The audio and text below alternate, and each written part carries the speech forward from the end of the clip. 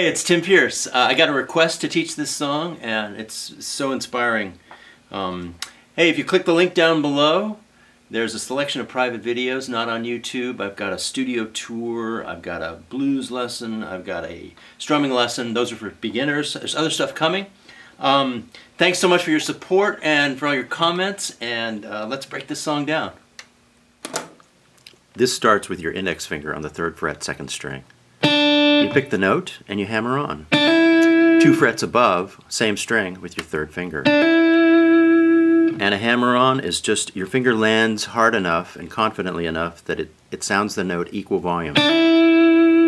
And it's this is a grace note, so it's quick. Your destination is really the fifth fret, second string. And then what we do is we add in the high E string for a drone.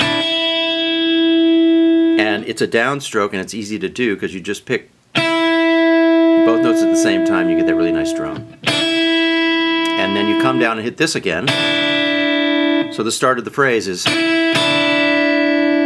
and that sets you up in the perfect position for your second finger to slide down to the next phrase. You put it on the third string, fourth fret, you pluck the note and you slide down. So let's go back to the top. And that's a quick move too. It's a grace note. Your destination is really this A note, this second fret note. And what you do here is you pull off to sound the next note. And what that is, you're, you're, you're here with your second finger, and the act of just pulling it off the string sounds the open G note, and you want to make that equal volume too. And then your next thing is to play the open D, and then hammer on on the second fret on the open D string. So that creates the whole first phrase. And this is a grace note in this hammer on too. It's just like the first one, really. So I'm going to walk you through it one more time. Hammer on with the drone in place, slide down, pull off, and then another hammer on on this open D string And then what happens is he, he kind of strums an E major chord really, really lightly. So.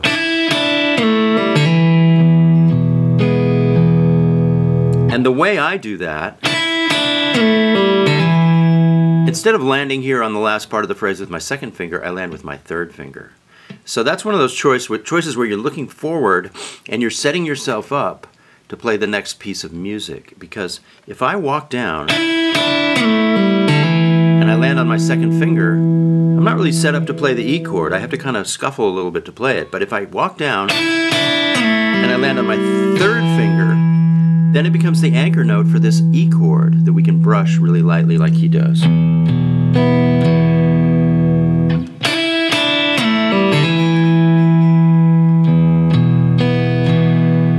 This E chord, it's it's really great because he plays it really light and it's kind of in, undefined and you can kind of play it the way you want.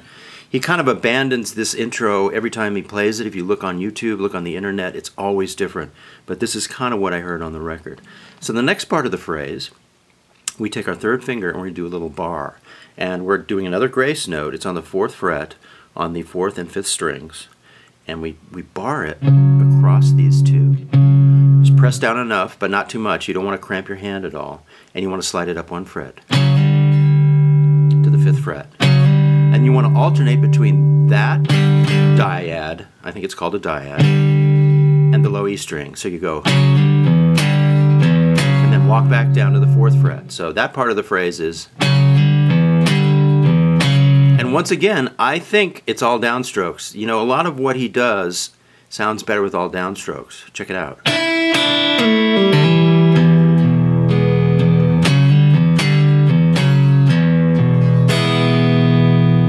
So, the end of this phrase is another E chord that he brushes really lightly.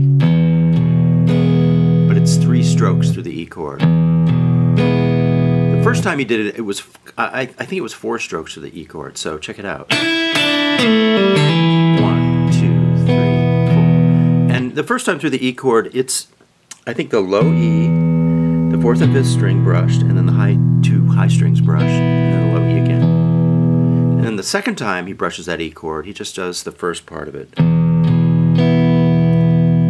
The first three strokes. Once again from the top.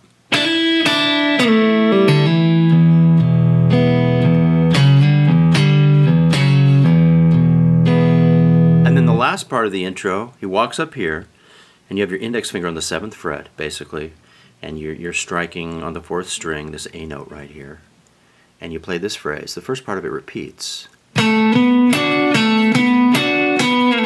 So you're going up a whole step, and then you're barring across the second and third strings and playing that dyad. I love that word dyad. And that's the last part of the phrase. It ends with your third finger on the ninth fret, fourth string, hmm. kind of sliding down. And the bass player and drummer join on this. Hmm. So let's walk through the whole thing. Hammer on with the drones, slide down quickly, pull off, another hammer on landing on your third finger to set you up for the E chord. Brush through the E chord with four strokes, low to high. And then we go here, barring, grace note, fourth fret up to the fifth fret. Walk down, E chord again, with three strokes, and then the final phrase with the bass player and drummer up here to the seventh fret.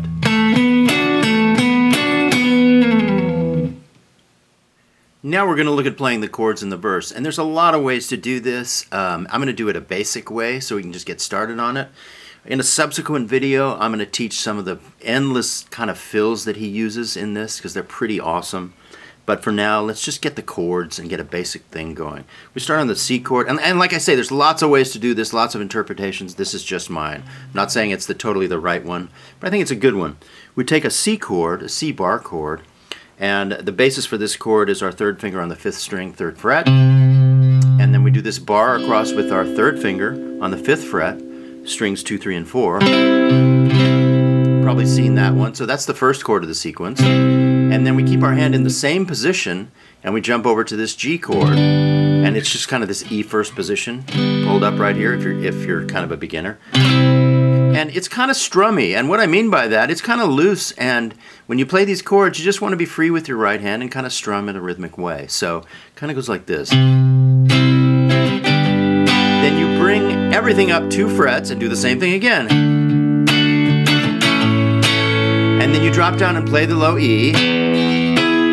And you grab this shape up here. So these are three familiar shapes and they're kind of repetitive. So we have C, G, repeat, D, A, repeat, E.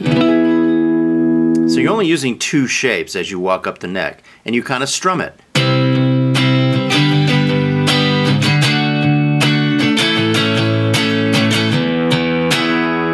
And then you do this very cool riff, which is starts on the ninth fret with your third finger, low E string, and you jump over to the A string on the fifth fret with your index finger and you repeat it. You play it twice.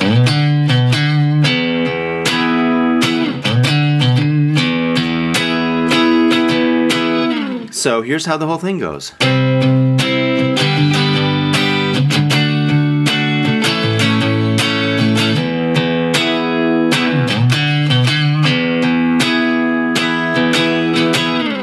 That E chord, he does like so many different things. That's one of my favorites is to like just play the E chord.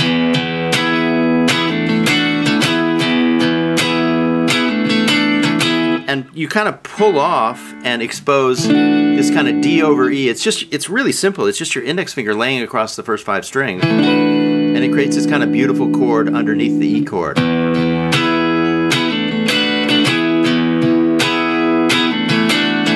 You saw me do that in the intro of this video, so one more time with that thrown in.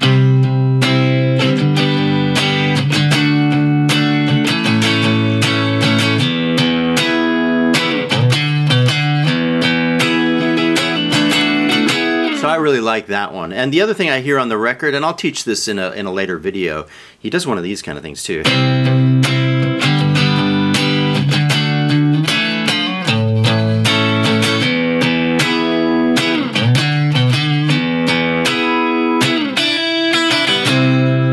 Of he kind of jumps back to that first thing. It's like the, a fragment from the intro.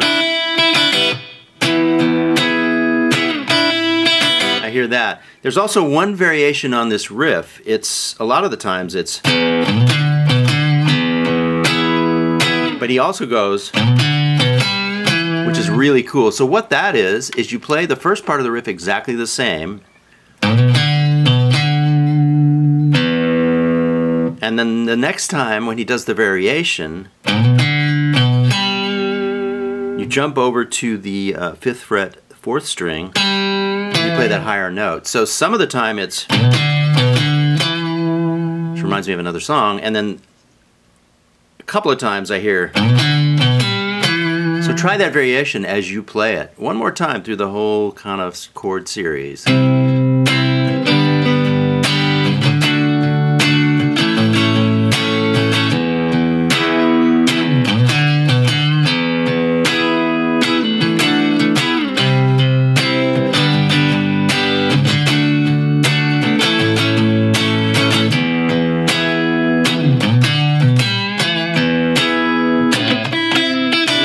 Hard to grab. I went I went for the the drony thing at the end of it. It's a little hard to grab.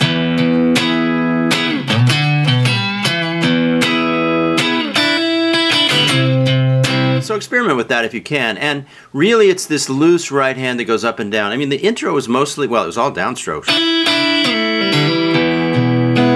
But the actual verse I think feels best if you're kind of strumming up and down.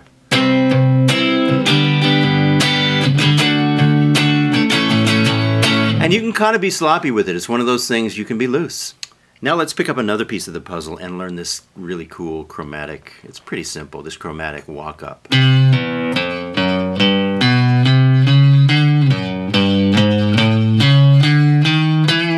And there's lots of finger choices, but I'm going to use just the three fingers. I'm going to kind of do it the same on each string. It starts with the C note, fifth string, third fret hit that, and then walk up from the low open E chromatically. That's just three half steps in a row.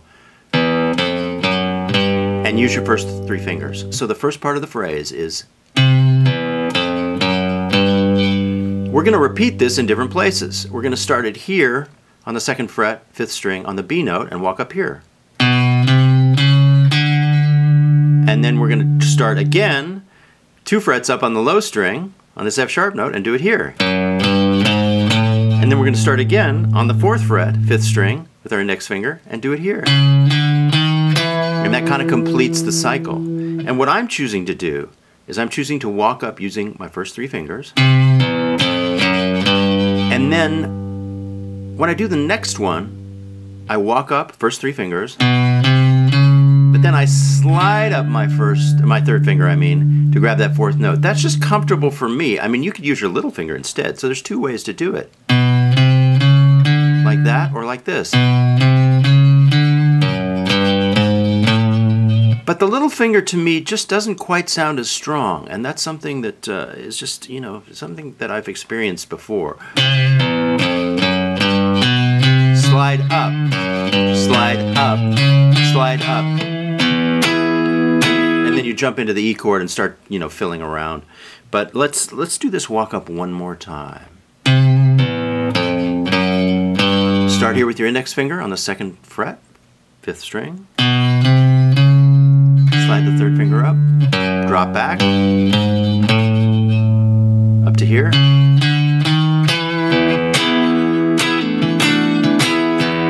Now let me do it with my little finger and let's hear how it sounds.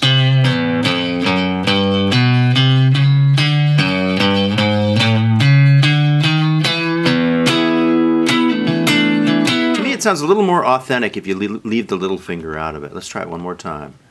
Here's the walk up. Start again with the index finger, second fret. Drop back down.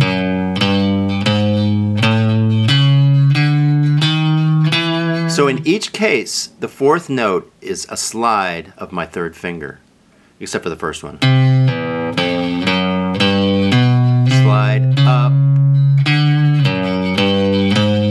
Up, slide up. And that's how I like to do it. Hey, thanks for watching. Click the link below for the collection of free private videos. And I'll see you next time.